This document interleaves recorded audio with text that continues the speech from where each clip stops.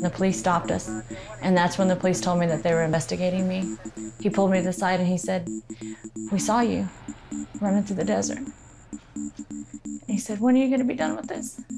Jennifer McPheron wasn't proud of what she'd become. At age 24, she was homeless, in an abusive relationship, and addicted to drugs. It was a far cry from the life she'd vowed to have when she was young. I was never going to be like my mom, that I was never going to let anybody abuse me, and that, um, you know, that I was going to have a good life and that I was going to be an example to my family, but also to my children when I had children. That's because she'd had a rough childhood herself. Her mother and stepfather were drug addicts and thieves, with six mouths to feed. A lot of times we didn't have food or bed or clothing. A lot of the places we lived had were roach infested, and I personally didn't bring a lot of friends to my house because I didn't like the environment that we lived in. She didn't tell her friends that her home was a war zone either.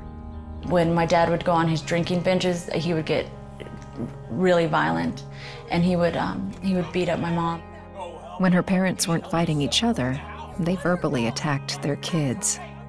I always felt that I was a disappointment to my mom. I asked her why she named me Jennifer, and she said, I named you Jennifer because your name is common and you were common.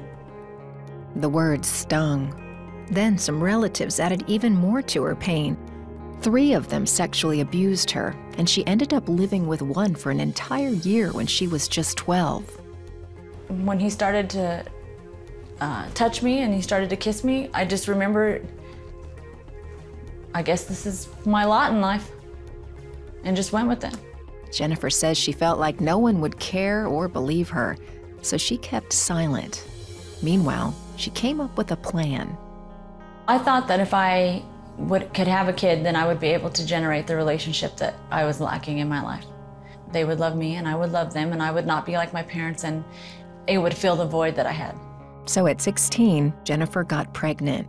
She had a son with one man, then a daughter with another. By now, she'd left home and was living with a friend.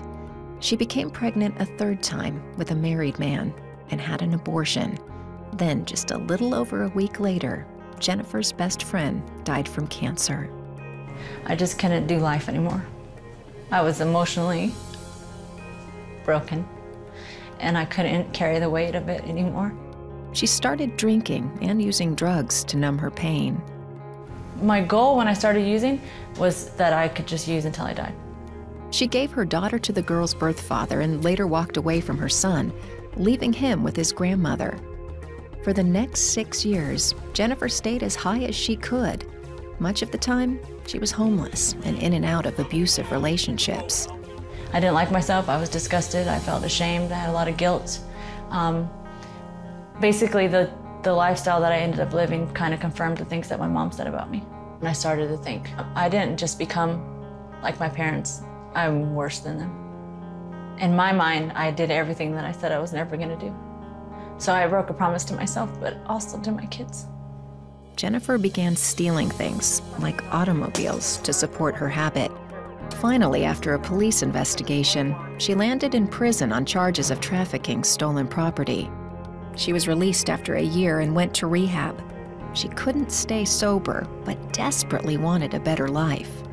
I wanted peace and I wanted joy. I wanted to like myself.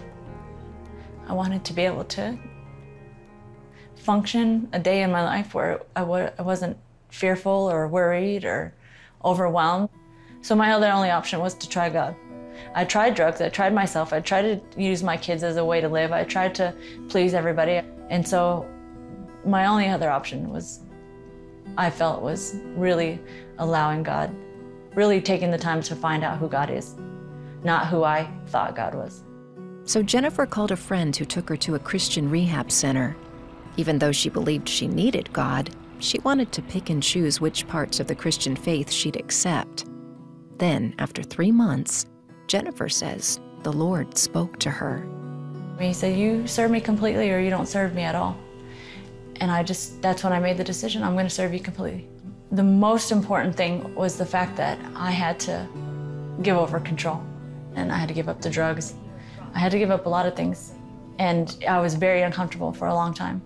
Those were the things that defined me, even if they were bad, but they were also the things that I used to keep me safe. As Jennifer memorized scriptures and got counseling, she grew in her faith. Over time, she learned to accept God's forgiveness, and she discovered her true identity. In Christ, I am loved and um, I'm complete. I'm victorious and I'm justified. I just am because God says I am. And that is where my peace is. Jennifer was able to forgive everyone who abused her, including her mother. You know, these people are hurt people, and these people, you know, have lived through a lot of stuff. And so it was easier for me to forgive them. She finished rehab and married Matthew. Together, they have a son. Now, Jennifer is rebuilding relationships with her two oldest children, and she says it's all thanks to God. He's given me a life, and He's given me purpose. He's shown me love that nobody else can show me. There's nothing that you can do that Jesus won't forgive you for. He's waiting for you to come to Him and say, I'm ready. I'm ready to start my life over in you.